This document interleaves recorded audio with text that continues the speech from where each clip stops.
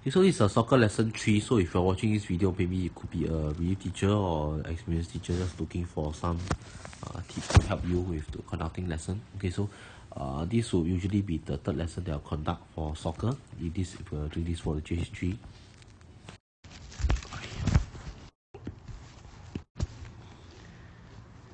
Okay, and so usually uh, this is the lesson objective. Okay, so I'll just you read it by yourself. Okay, then uh, usually we are focused on dribbling. that's a really introducing to dribbling to the students for the first time, assuming that uh, just assuming that your students are really of zero ability, we're going to teach them from scratch. Okay, so of course you uh, if your students are highly skilled, you can just skip this lesson and go on to higher more advanced uh, dribbling uh, skills. Okay, so the main thing that we're actually teaching here is uh, laces dribble. And so as usual, what I'll do is uh, at the start of the lesson, I will get them to warm up and I'll just throw the balls on the field. As I'm setting up the goal post I'll get them to uh, do pair passing up and down the field. Okay? So each of each pair will get a ball uh, they'll know the routine.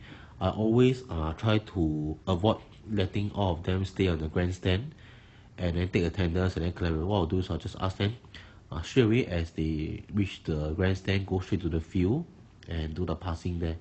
And start so this actually minimize uh maximizes the activity time so they usually they have time. Once they go there they don't have to go and sit down and take attention straight away. They just go to the field and they start playing. As they go and play what I'll do is I'll set up the goal post okay and then I will take attendance as they are I'll walk around. At the same time they get to recap their uh, lesson 1 and 2 which is their basic passing. Okay? Then uh, after that right I'll do okay, now after I'll then gather them. I'll then gather them around.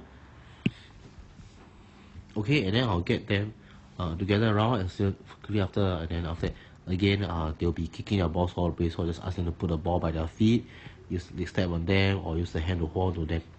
Okay?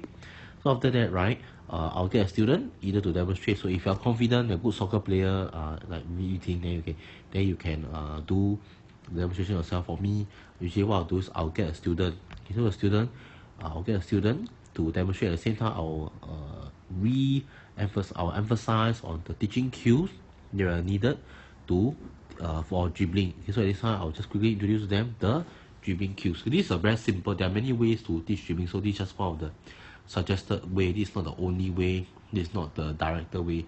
Okay uh, so it's just one of a uh, quick sharing on how uh, you, could, you can actually teach the dribbling drill right? So once I gather them I'll just uh, can recap. This is what we do during the warm up. Okay I'll just recap all these with them.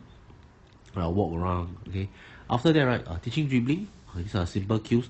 Uh, lock your ankles uh, point your toes down push the ball forward with your laces and keep dribbling ahead of the non-dribbling foot.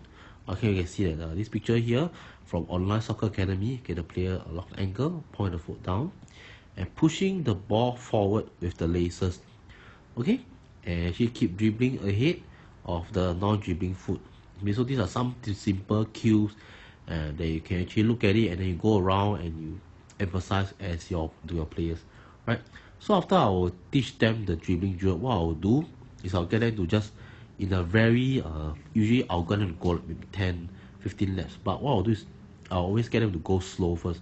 So for the students who are not proficient right I'll just get them uh, go walk and dribble. Just do a walking dribble. So they walk and then they push the ball up and down the field as they're comfortable then I'll start to tell okay let's try to go for a jog okay for the boys who are very proficient uh, what I do is just tell them okay let's try to go and down within uh 15 seconds.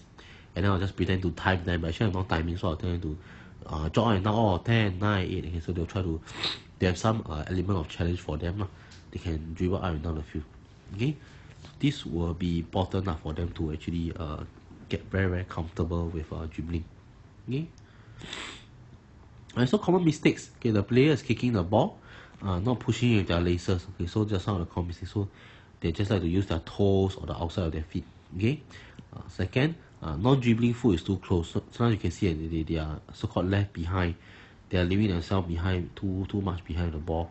And then they are unable to get a good footing to push the ball forward okay?